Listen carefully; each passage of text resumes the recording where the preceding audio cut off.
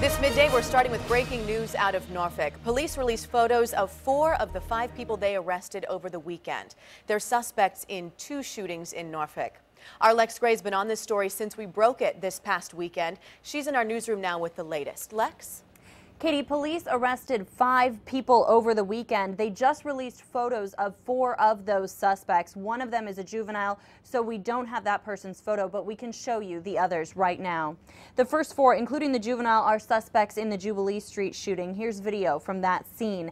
It happened Saturday night around 10 o'clock and left one person injured. The suspects are 18-year-old Trenton Holland, 19-year-old Jaquan Lawrence, and 19-year-old Javon Reap. Police charged them with malicious wounding and using a firearm to commit a felony. They also charged a 17-year-old. A bullet hit an 81-year-old woman in the hand on Bagnall Road just after midnight on July 5th. The suspect in that case is 20-year-old Darius Dennis. He faces seven charges, including malicious woundings.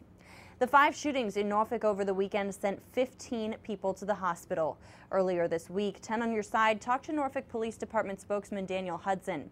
He told us the no snitching culture needs to change because officers need more leads in these shootings. This morning I followed up with him. He tells me officers made those five arrests from their own investigation, not from tips, but the department has been getting more leads since we ran that story and they're still looking for more. Call the crime line if you know anything that can help.